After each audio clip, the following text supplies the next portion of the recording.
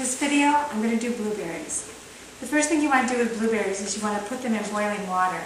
But you have to be really careful. You don't want it in the boiling water for more than a minute because they'll get mushy.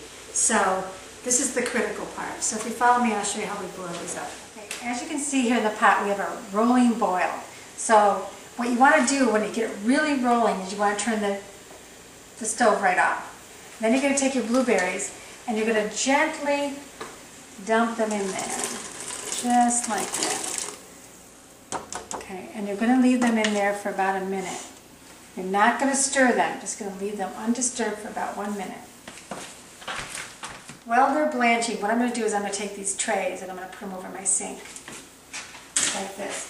And what I'm going to do is I'm going to use them as a strainer because the less you move your blueberries, the less chance of mushing you have. So I found this to be a great idea. Okay, what you want to do is take a blueberry out and you can feel if the skin is real soft.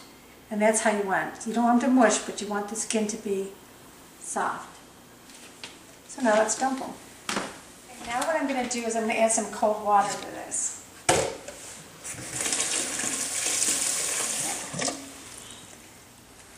Okay, then I'm going to take my Excalibur dehydrating tray and I'm going to place it over my sink and use it as a strainer.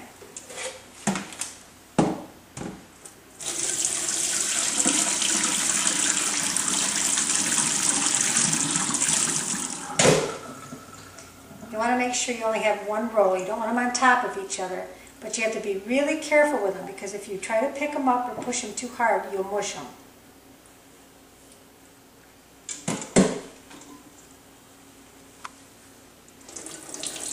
You want to make sure you have just one row.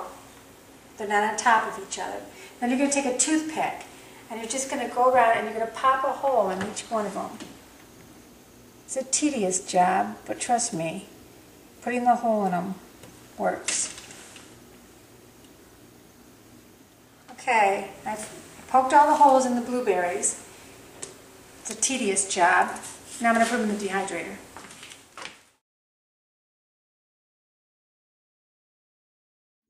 Okay, these are the blueberries and it's been 12 hours later. And you can see the ones that didn't get pricked with a toothpick are the ones that are not dehydrated. If you can see this right here, you can see how soft they are. The ones that did get pricked, you can see they're nice and dehydrated. And it's only been about 12 hours now. But these have to go back in for a little bit longer. Um, so I'm going to go around and re-prick all the ones that are big and soft, like that. And I'm going to put them back in the dehydrator and dehydrate them a little bit longer.